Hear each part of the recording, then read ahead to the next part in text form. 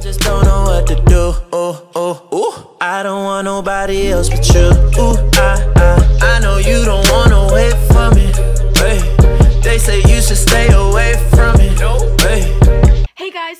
Mary, and in today's video, I'll be doing this chunky glitter makeup tutorial. I don't really know what to call it, but that's kind of the look I was going for, so I hope you all enjoy, and if you do, don't forget to give it a thumbs up and subscribe down below. I'll have all my social media links down below, like my Twitter and Instagram, so you should go follow me on there, and without further ado, let's just hop into the video. So I started off, and I did my face makeup first, so I'll just show you really quickly what I used. I can't find it right now because my makeup desk is a mess, but I used my Benefit POREfessional to prime my face, and then my Rimmel Stay Matte Foundation with my Morphe M439 buffing brush. I used my Kat Von D Tattoo Lock-It Concealer for um, underneath my eyes and stuff, and then set my makeup with my Maybelline Fit Me powder and did my brows. So yeah, let's just get into the tutorial. So starting off, I'll be taking my MAC Paint Pot in the shade Soft Ochre, and I'll be using that as a base for my eyeshadow as well as a primer. Then taking my Morphe blending brush, I'll be blending a soft matte brown color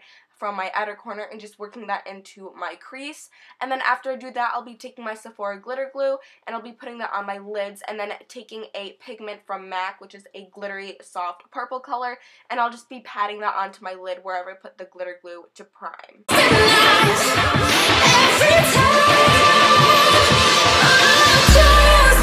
Now taking a matte hot pink from Kiko, I'll just be taking my Real Techniques blending brush and working that from my outer corner into my crease and just really buffing that out and then taking the Sephora glitter primer again, putting that underneath my lower lash line and taking my NYX glitter in the shade Rose and working that on my lash line and a little bit below and putting that in the inner corner as well. And then I'll just be baking with my NYX loose powder underneath my cheekbones and wherever I tend to get oily and just letting that sit. And while I'm waiting for that to sit, I'll be taking my Anastasia contour kit and a Morphe Dense Angled contour brush and be contouring my nose and my cheekbones and forehead and then just taking my Real Techniques sculpting brush and really just blending that out and taking my Benefit Hoola bronzer as well just to warm up my face a little bit more.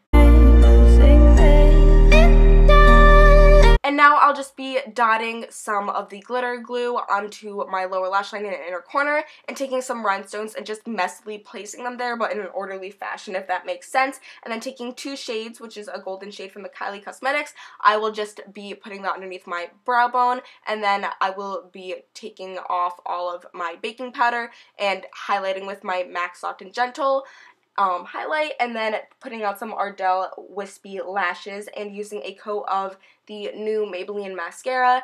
And yeah, I'll just be taking a NYX soft um, lip pencil and I will be filling in my lips with the Interest This Brown color and then taking the shade Corset from NYX from their lingerie liquid lipstick line. I will just be using that and that is it for today's makeup tutorial. I hope you all enjoyed.